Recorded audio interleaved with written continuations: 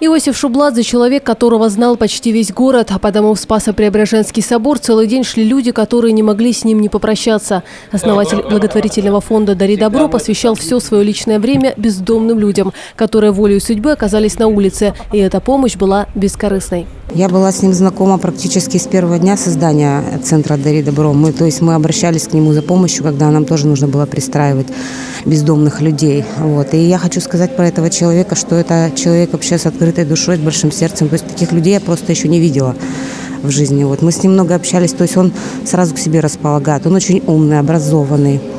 То есть, ну, можно сказать, святой. Вот святой Иосиф, как про него говорили, так и есть.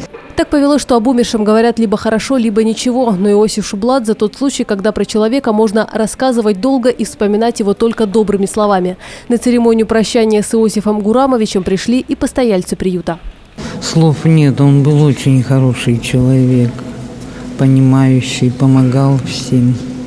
С каким бы вопросом к нему не обратились, всегда поддержка и опора – как без него?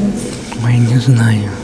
О судьбе приюта для бездомных, главном деле жизни Иосифа Шубладзе сегодня переживают многие. Людям хочется верить, что эта инициатива и доброе начинание не будет заброшено.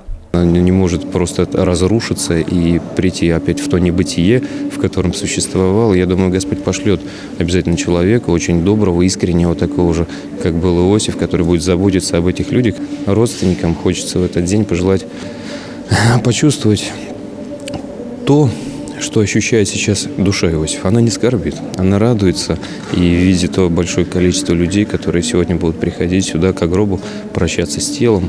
Иосифа Шублазы похоронили сегодня, 4 марта в 15 часов на Макаровском кладбище. Илья Новиков, Алексей Куприянов, телеканал «Рыбинск 40».